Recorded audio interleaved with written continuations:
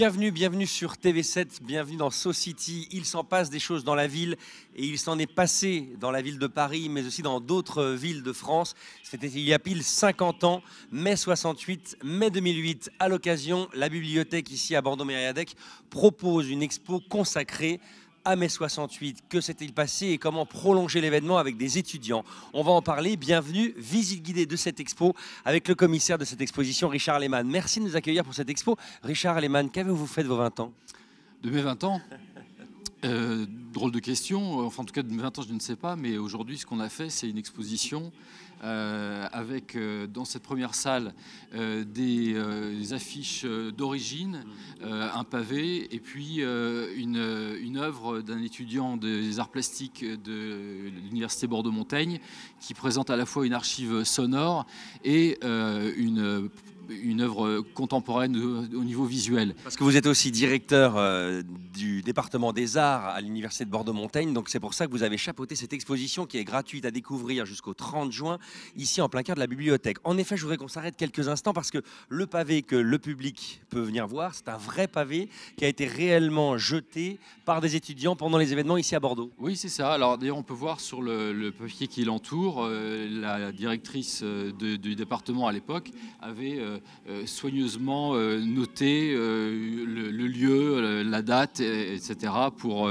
bien conserver le, pavé, qui lui-même est d'ailleurs annoté et qui a été conservé en l'état. Exactement. Alors on démarre cette expo avec des vrais documents. Ces documents que l'on voit là, euh, un journal très connu à l'époque qui s'appelait L'Enragé, et les affiches qui sont derrière nous, sont vraiment des documents d'époque Alors il y a des, documents d'époque, on les reconnaît puisque le papier est un peu jauni, et puis il y a des documents qui sont des rééditions, puisque le papier est plus blanc, mais enfin qui sont des rééditions euh, des années 90. Voilà. Alors ce qu'on peut voir aussi dans cette salle, qui est une document hein, avec des restitutions de documents d'époque, c'est que quand on va avancer dans l'exposition, ensuite, euh, il va y avoir euh, donc la scénographie prévoit ensuite euh, ce que l'on voit un peu plus loin, c'est des, pastiches en fait de ces documents d'époque qui sont réalisés par les étudiants d'art plastique de l'université de Bordeaux-Montaigne avec des affiches qui nous sont familières mais qui ont été un peu modifiées. Par exemple, on voit ici la police vous parle tous les soirs à 20h, sauf qu'à l'époque c'était l'ORTF, mais que là ils ont transformé avec BFM TV par exemple.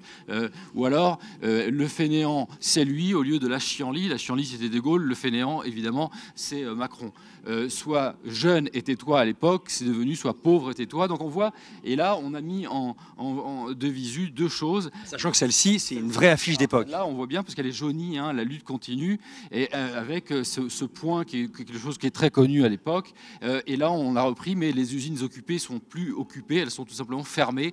Donc là on, on voit qu'on rentre dans des problématiques plus actuelles, et puis on va rentrer ensuite dans une, dans une exposition plus actuelle en fait, c'est-à-dire avec des, des affiches qui ne sont plus des pastiches des, affiches de 68, mais qui sont des affiches euh, complètement inventées finalement par les, étudiants d'aujourd'hui, avec des préoccupations euh, euh, en fait finalement totalement d'aujourd'hui. On, a aussi des, vidéos, hein, on, le verra, des vidéos de, vidéastes des étudiants de, l'université. Vous qui avez travaillé justement avec ces étudiants, qui avaient préparé toute cette exposition à venir voir vraiment parce qu'elle est passionnante, en quoi ça les a motivés, ces étudiants qui sont des étudiants en art, en art plastique, euh, de, s'imprégner ben, du graphisme de l'époque et d'imaginer maintenant, quelque part, leur, communication, mais avec ce graphisme-là de l'époque.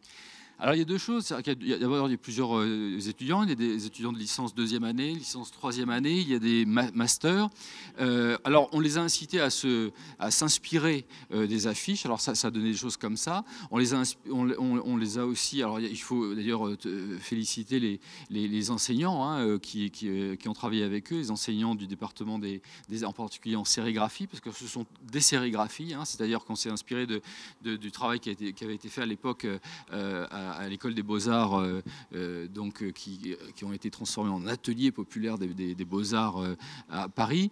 et donc, mais il y, a des, y, a modifications, puisque effectivement, ce qui les a motivés, c'est pas seulement de refaire des affiches comme ça avait été fait en 68, il y a 50 ans d'écart quand même, mais ça a aussi été, bon, on le voit par exemple avec les ordinateurs ici, ou ici par exemple, ce qui est très drôle, c'est on se battra demain, c'est-à-dire comme ça, la, procrastination on le voit avec un, sac de pop-corn, une, une, dire, une télécommande et puis un canapé. Bon, on se battra, mais, demain. Hein. C'est-à-dire, on n'est on est plus tout à fait dans 68. Et on voit parfois des affiches comme ça qui, qui, montrent qu'il euh, y a encore de la, lutte, mais parfois il y a aussi un peu de désillusion. Alors c'est très juste parce que dans cette exposition, il est en effet euh, prévu des petits espaces vidéo que je vous invite à aller découvrir. Et notamment, on voit ce film qui est assez représentatif ah, de, de, de, cet énorme grand écart qu'il y a euh, entre les étudiants d'il y a 50 ans et ceux d'aujourd'hui, où c'est une vidéo où on voit des étudiants, et c'est assez réaliste. Hein. le quotidien d'une étudiante, d'un étudiant aujourd'hui, c'est d'être sur un lit, un canapé avec son ordinateur et de ne rien faire. Voilà, c'est ça. C'est-à-dire qu'elle euh, travaille à son, son, mémoire de master. Euh, elle, voilà, elle, peut-être qu'elle remplit des pétitions aussi bien. Euh, peut-être qu'elle lutte d'une certaine manière sur Internet. peut-être qu'elle. voilà, mais enfin, elle est dans sa chambre et sur son lit. Les vidéos durent 3h45. Elle avait fait une, performance à, l'université en novembre qui avait duré toute la journée, hein, donc ça avait duré quand même une, dizaine d'heures. Et donc elle avait passé euh, sa, journée sur son lit. Euh, elle lit, elle travaille, etc. C'est effectivement l'actualité d'une étudiante aujourd'hui qui n'est pas forcément d'aller euh, dans la rue pour manifester, mais de passer effectivement sa journée à travailler et à, être sur Internet. Évidemment, Internet n'existait pas en 1968. C'est une donnée tout à fait considérable aujourd'hui pour les étudiants euh, pour les étudiants. Alors d'ailleurs, on va le voir euh, aussi euh, ici. Alors ici, d'ailleurs, on est dans une salle où il va y avoir des ateliers au mois de juin régulièrement. Alors on a installé les tables, on a installé aussi des, des des, éléments qui rappellent un petit peu au fond un atelier de sérigraphie, mais il y aura des ateliers régulièrement tous les samedis, animés par des étudiants et des enseignants de l'université Bordeaux-Montaigne, euh, à, euh, donc, euh, à la bibliothèque ici. Pour exprimer un peu ce que l'on ressent autour de ça. Et je sais qu'il y a aussi une étudiante qui fait aussi, qui est en master et qui fait aussi la visite de cette expo, qui accompagne le grand public. en master d'histoire de l'art et, qui viendra faire des visites aussi. Et en face, on a mis, là on voit l'occupation par exemple, de, donc c'est une vidéo qui montre l'occupation de l'université Bordeaux, de Bordeaux cette fois, à hein, place de la Victoire, mais par des étudiants qui sont des universités de Bordeaux ou de Bordeaux-Montaigne, qui c'est une vidéo qui est faite par une étudiante de, Bordeaux-Montaigne, euh, donc en section vidéo, et qui euh, montre euh, en alternance des images de l'occupation, enfin de, manifestations, donc, qui se sont déroulées au mois de mars, de l'occupation de l'université, et on, les voit, ils, collent des affiches d'ailleurs qui sont des affiches qu'on trouve ici. Euh, d'ateliers de sérigraphie. Si on attend un petit peu, on va les voir en alternance. Vous voyez, on les voit coller des affiches.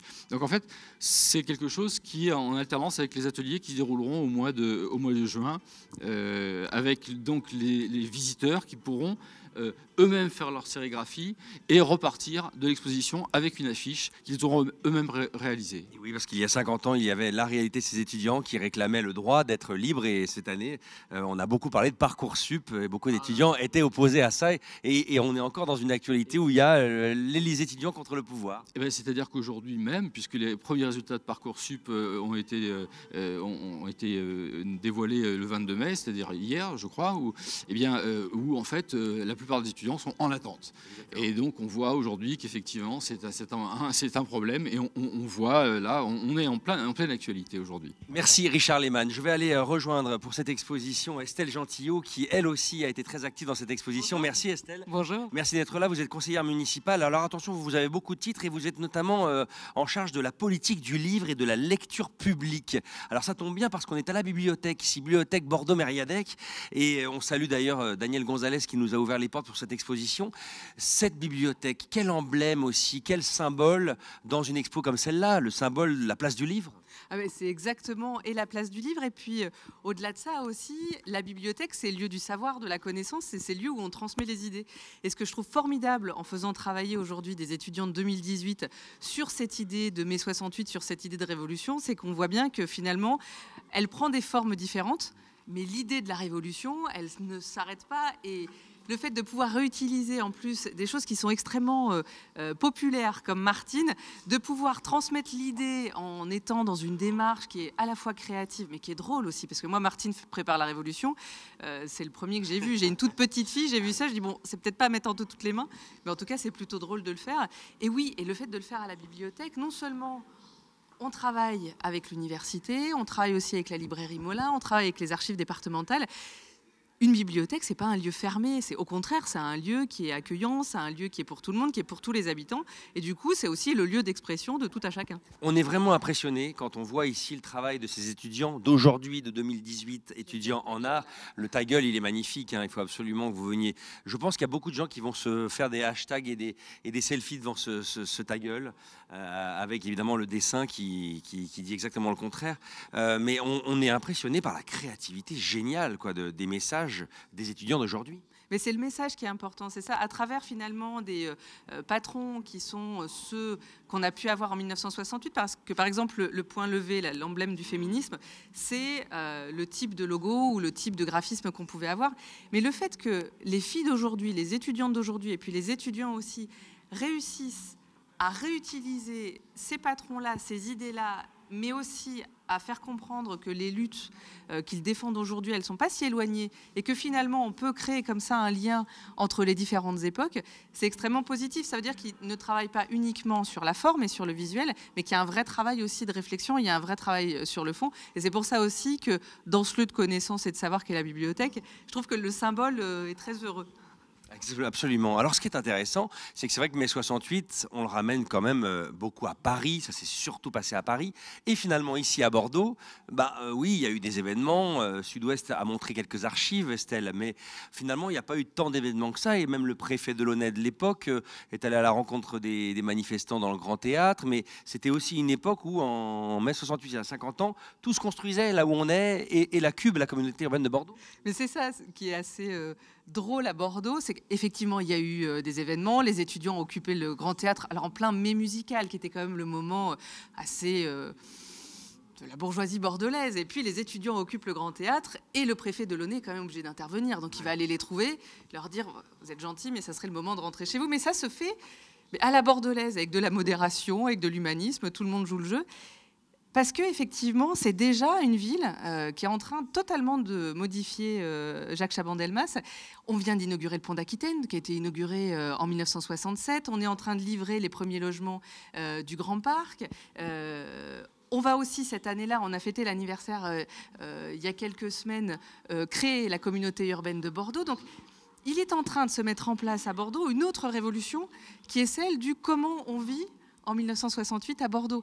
Et déjà, dans son urbanisme, dans sa façon de vivre, on est dans une ville qui est innovante, dans une, parce qu'il va devenir une métropole, qui à l'époque est une communauté urbaine, qui est en train de se structurer. Donc finalement, tout ça s'inscrit là aussi dans une forme de philosophie à la bordelaise. C'est-à-dire, on fait les choses, mais on change les choses moins par la révolution que par une forme de réforme à laquelle bah, tout le monde adhère. Puis je crois qu'il faut se réjouir parce que finalement, cette philosophie-là, euh, il y a 50 ans, on l'a toujours euh, aujourd'hui en 2018, où on est dans une ville qui est apaisée, qui est humaniste, où on peut se permettre justement d'avoir ce type de réflexion et ce type de travail avec les étudiants, parce que ça montre qu'on est quand même dans une expression qui quelquefois peut être assez intense. On l'a vu, les étudiants à la victoire, et c'est la vidéo que nous montrait tout à l'heure Richard Lehmann, revendiquer très fort et très légitimement ce qu'ils avaient envie de voir advenir, mais voilà, le fait qu'on puisse continuer à s'exprimer dans une ville qui le permet, bah, ça fait un vrai sens avec tout ce qu'on voit ici. Et alors vous qui êtes en charge justement de la politique du livre pour euh, la ville, pour les étudiants, euh, pour, euh, pour aussi les citoyens, aujourd'hui le livre se porte finalement pas mal à l'heure où on est tout le temps connecté? Ah mais oui, moi c'est ça qui m'a frappé il y a trois ans plusieurs journaux, il y a eu Marianne et puis il y a eu une revue professionnelle qui s'appelle Livre Hebdo, ont qualifié Bordeaux de petit Saint-Germain-des-Prés. Et euh, alors, il faut dire qu'on était juste après l'escale du livre, qu'il avait fait merveilleusement beau et que quand on est dans le quartier Sainte-Croix, là aux terrasses de café, oui, c'est un petit côté Saint-Germain-des-Prés. Mais surtout, ce que ça veut dire derrière, c'est que on est dans une ville où on a beaucoup d'auteurs, auteurs de BD, auteurs de littérature générale, auteurs de littérature jeunesse. On a par exemple Geoffroy de Pénard, qui est un auteur jeunesse qui vient de s'installer euh, là à Bordeaux. On a des éditeurs, c'est la super aventure de finitude avec En attendant Jungle, mais la maison, euh, elle continue euh, de vivre, de publier. Là, ils, traduisent un inédit d'Anaïs Nin, euh, la grande auteure féministe, justement, donc on connaît beaucoup par ses écrits érotiques, mais c'est important aussi de le souligner. Il y a une dimension qui est bien au-delà de la littérature bordelaise ou régionaliste. et puis, on a des librairies, on a les librairies qui s'ouvrent, on a plein d'événements qui se créent. Euh, et tout ça en rapport en plus avec les bibliothèques. On construit de nouvelles bibliothèques. Ce sera le cas de la médiathèque de Codéran euh, qu'on va pouvoir découvrir euh, a priori en cœur d'hiver au premier trimestre 2019. Donc tout ça est extrêmement stimulant. Et, et, oui, les Bordelais continuent de lire et aiment lire et fréquentent les librairies et se rendent dans les manifestations autour du livre à Bordeaux et aussi dans la métropole parce que tout ça forme un réseau assez heureux entre l'escale du livre, lire en poche à Gradignan. Il y a des salons du livre jeunesse là tout le printemps. C'est euh, très rassurant aussi parce qu'à l'heure du numérique, le papier et puis surtout le partage qu'on peut avoir autour du livre, euh, c'est très très enthousiasmant. Et on vient aussi à la bibliothèque pour voir des expos. Merci Estelle, à très bientôt et bonne semaine sur TV7. Salut.